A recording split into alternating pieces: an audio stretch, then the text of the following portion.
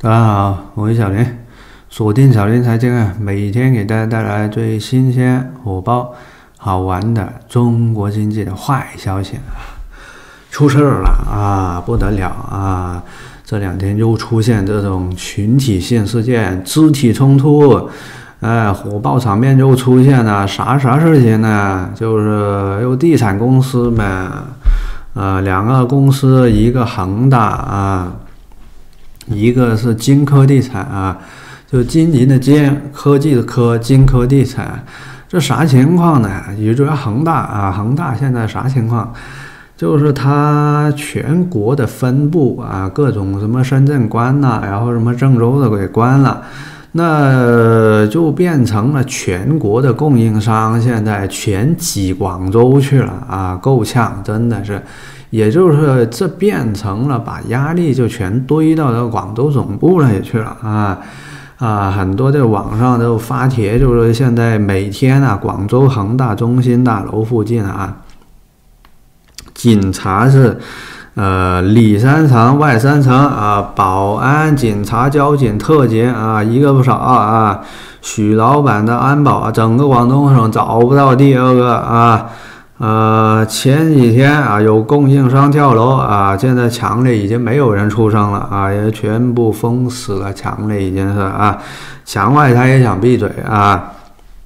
年底要账的人太多了啊，也就是你又追我，我又追你，到了年底了啊，又搞不定这个东西，那大家就急呀，所以各种情况就出现了，像这个金科地产啊，你看啊，大门。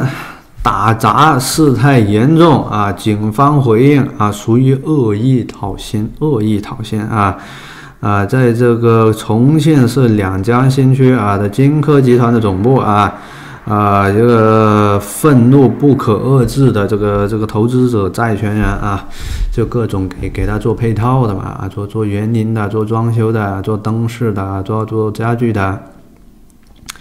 给他做配套的，你看都讨薪呢，讨钱，恶意讨薪，都成恶意讨薪了，啊，所以到了年底，各种恶意讨薪大爆发呀，呃，这个也是总部一片狼藉啊，一片狼藉，各种打起来了，啊，在这个金科地产总部大楼高呼啊，还钱，还钱，还钱啊，就暴力冲撞玻璃大门啊，事态严重啊。就在这样的情况下，我拿到一手数据啊，就是可你我们看一下这一手数据，你会发现，真的啊，虽然说现在这个恒大好像没嗯不是啊热点，好像不是热点新闻了啊，不是不是突发新闻了，没有爆炸性，但是实质上它问题没解决，问题没解决啊，而且事情还特别大呢。啊，今天看到啊，踩雷恒大两家公司啊又宰了，呃，合计亏掉一百个亿，很多很多公司啊，我们来看看啊。首先说到这两个公司啊，一个叫做金螳螂啊，呃，很多啊，几十家上市公司公布里面啊。呃，这个亏损的预告里面都出现啊，我们给某大客户啊，或者说恒大啊做做供应啊，所以就就亏损啊，这种字眼出现在几十家这个公司的预亏年报当中啊。其中呢，今天就公报出来，这个有一个叫金螳螂啊，金螳螂啊，一个是广田集团啊，都因为给恒大做供应啊。呃，超过一百个亿的巨额商业承兑汇票啊，违约啊，讨不到钱啊，这大公司也踩雷。呃，你看这个金螳螂啊，是曾经参与过鸟巢、国家大剧院、北京大兴国际机场等标志性建筑装饰的一个大型装修集团啊。很牛逼的集团啊！他今年就因为踩雷，恒大就把两年利润亏没了啊！一年亏五十个亿，五十个亿啊，不得了啊！也就是金螳螂就今年就因为踩雷了恒大，这两过去两年白干，白干啊！呃，客户收不到钱啊，原因很简单，就就收不到钱啊！呃，部分以资产抵债啊，但是呃也不不好不好抵债，不好抵债啊，现在呃不好处理，你把它收回来，他还不想收呢，把它收回来怎么卖都是个问题。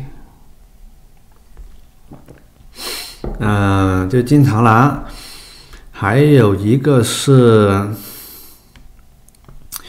广田集团啊。广田集团是深圳装饰行业的老大啊，是深圳的老大啊。谁知道啊？二零二一年，你看预告亏损四十到五十个亿啊，这合起来一百个亿啊。呃，比去年同期亏损增加百分之四百一十到百分之五百三十七，对吧？神经病！中国的数据一出来，那都是震惊世界啊，什么什么增亏损增加百分之四百一十到五百三十七十。你放在什么成熟资本主义社会，那上蹦下跳的啊！你的那些数据，天天几百几百百分之几百百分之几千，哎，所以真的是太好玩了啊！在中国就玩蹦迪啊，玩蹦迪，最最惨的现在才是往下蹦的多，往上蹦的很少啊！哎，广田集团啊，这个他公司解释啊。公司第一大客户啊，他就就他也是就是给那个恒大做做配套的啊，呃，违约了，违约了啊！公司应收第一大客户啊，工程款回款滞缓，面临较大的信用风险啊！现在持有的商票啊有。有三十二点四七个亿是是是到期了没有？给不了钱啊，给不了钱啊！现在呃想了一下，就就算了，就就当做亏了啊，就计入亏损。呃，二零一零年的时候，你看十年前，广田集团宣布与恒大集团签署战略合作协议啊，呃，承接恒大地产子公司下面楼盘的。装饰、装修、施工工程啊，呃，协议规定，恒大地产每年安排约三十五个亿的装修施工任务，呃，并逐年增加十个亿左右的任务给广田集团啊。你看，当当时就每年增加十个亿，开玩笑。所以恒大一开始就就还挺吹牛逼的，就许家印这个人一直挺吹牛逼的啊。看啊，我们看到很多啊，现在数一下啊，呃，事实上，金螳螂啊，只是被恒大激起的浪花中的其中一朵啊。近日啊，数一下，全筑股份啊，建筑的筑啊，江河集团、中恒设计、我乐家居啊，我乐家居可能是做中介的啊。哎，还是装饰的，不知道。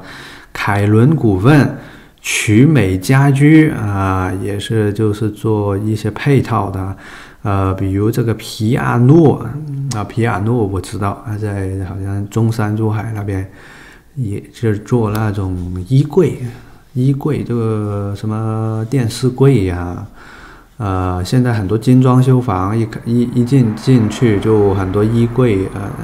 呃，就木质家家具，它一开始就配套好啊，所以这这也是给它做成整体配套啊。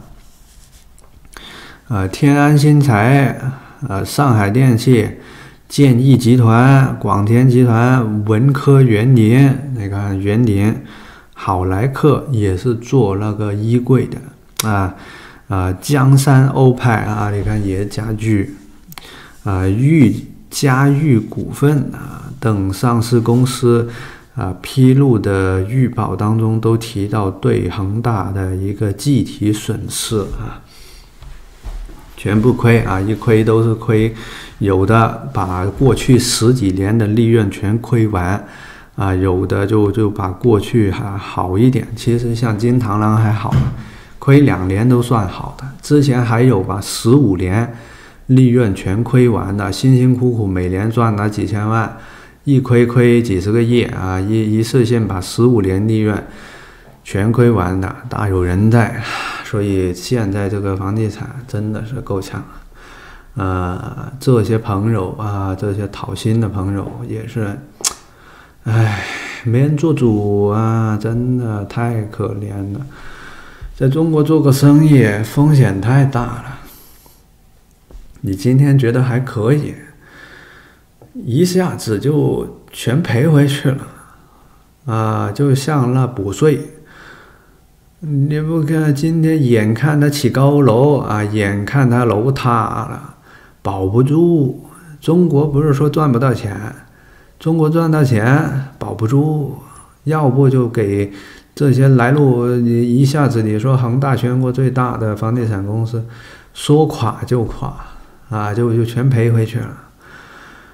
呃，说补税就补税，你说怎么玩呢？太难了，啊，最难的就是你自己这么难了，看到国家好像，他妈天天啊吹牛逼啊，肉肉是，哎呦，我还是深刻记得想当年。北京奥运会啊，哎呦，你天天看到他哟，国家伟大哟，然后那个那股票账户天天暴跌是，哎呦，你你心里面就很分裂，你知道吧？哎呀，当当时我还挺小的嘛，当时零八年奥运会的时候，哎呦，你你想想，哎呦，看着股票账户又在缩水。国家它好像挺伟大的，是吧？好像挺牛逼的。哎呦，你一混在一起，又又觉得太惨了啊！那种感觉就是没人管你，国家继续伟大啊，但是没有人关注到啊，有人这么惨啊，而且就是全国股民这么惨，中国做生意的这么惨，没有人管，没人管啊。没有人去同情啊，没有人主流不关注啊，所以真的挺惨的，啊，先聊到这里啊，觉得有点意思，点赞、订阅、分享，拜拜。